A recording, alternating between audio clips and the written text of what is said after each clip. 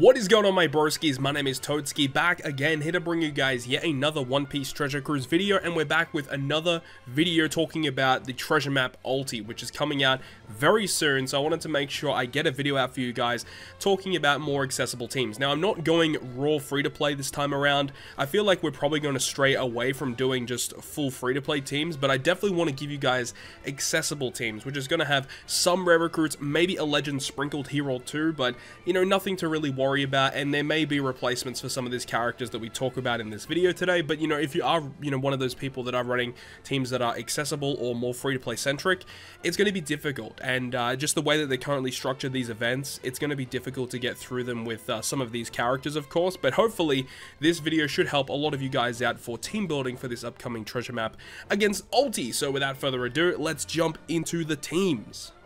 First one against Apoo, and of course, no surprise, we're going to be using the Psy Straw Hats.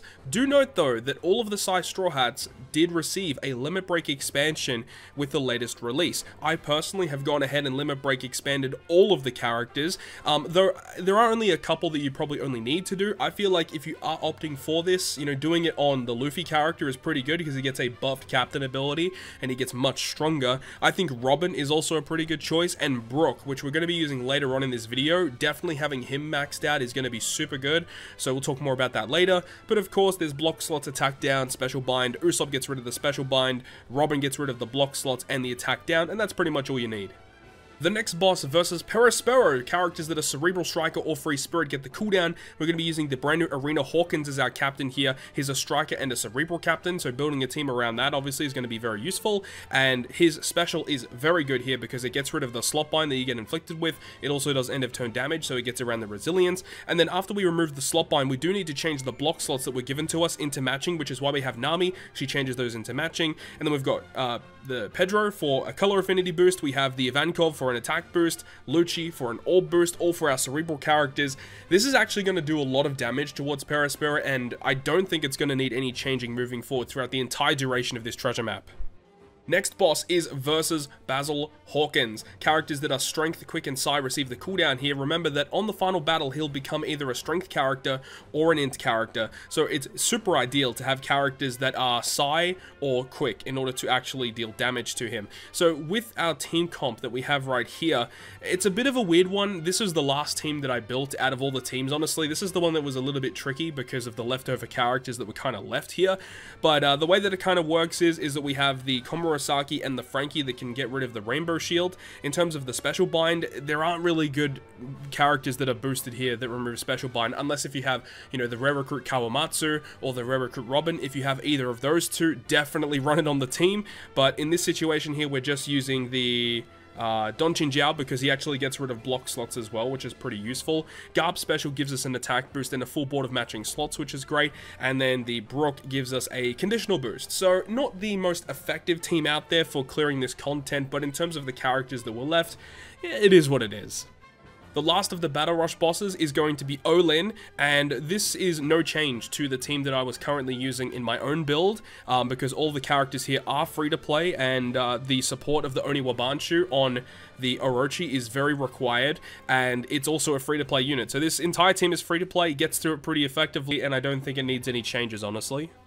So now we get into the more difficult thing here, which is going to be versus Kaido and the lead performers, the final boss battle in the treasure map. So this is the team that we kind of came up with. It's a bit of a weird one, but I'll explain it as we go along. Dex, Quick, and Psy characters receive the cooldown here. The Battle 2, you get hit with 8 turns of Despair. So, of course, with your sockets, it'll go down to 5 turns, and then Sasaki Special will get rid of the rest of that Despair. And he also changes your Free Spirit characters and your Powerhouse characters slots into matching, so that's pretty good. But uh, of course, you are inflicted with poison slots for your crewmates, and also you're inflicted with a poison. So you do need to remove that poison. Now, we are using a non-free-to-play character to remove that support, which is going to be the 20th anniversary Sanji attached to Kizuna Chopper that will remove the poison slots. And ideally, I forgot to mention as well, is that this is going to be using friend Captain Frankie. So do keep that in mind. Frankie's going to be the friend captain for this team in order to get through it effectively, not the booster Nami. You do need Frankie because of his utility in his captain ability. Now, in terms of the resilience as well, we're going to be using Perospero, and Perospero also says that if our captain is a quick character, he does end of turn damage and, and all of that, which is great, so he gets around the resilience, and also Perospero locks our slots. So after using the special of Sasaki and also removing the poison, which gets rid of the poison slots, we actually have a full board of matching slots, and we can lock them for multiple turns, so that's a huge benefit that this team actually has. Now, on the final boss battle, Battle 3, the preemptive attack, he'll become either a quick character or int character. So having dex and side damage is going to be very important. Now, in terms of removing the damage threshold, the way that we're getting around that is by, by using the Brook special. Now, this is the free-to-play Psy Straw Hat Brook. When you do Limit Break expand them, he does get double special activation, which means he can remove up to 4 turns of damage threshold, and then we're using a support of this Strength 20th Anniversary Nami to get rid of an additional 1 turn of Despair. So Brook by himself with that support does get rid of all of that Despair. The attack down is removed via Frankie's Captain effect, so we don't have to worry about that. And then, of course, the paralysis is removed via the Chopper special. Now, on this team as well, we, uh, as I said, we're going to be using Frankie as our friend captain. His special ability will provide an attack boost or boost for our characters, which is great. But then we've also got Vivi. Vivi is just kind of like a filler unit that's a relatively high booster, and she provides an attack boost, so we can use her on stage 2 to get a bit of a damage increase boost against the enemy. So that's the ideal situation with, uh, with, with this team anyways. But, uh, you know, Vivi is definitely replaceable with other characters. But, you know, considering the fact that a lot of this team is free to play aside from like the supports and stuff. Um, it's, it's relatively excessive, but it's not the greatest team out there. You know, if you've got some of the legends that have recently released, um, those would definitely be better options as captain. But, you know, it really is dependent on what you have in your character box. And here we are at the final battle versus Ulti. Remember that this is the intrusion battle, which is the fight that you will take on as soon as you enter the treasure map. So with this team, Slasher, Shooter, and Free Spirit characters receive cooldown, and we are opting to use V2 Brook as the friend captain here because he enables us to survive the, the huge amount of damage that we receive upon entering the final boss stage. Now, one thing to note as well is we are using Koala as a captain. Now, the reason for that is, is because Koala has a great special that provides a huge color affinity boost so that when we do eventually do damage on the final boss stage, having a huge color affinity boost is great.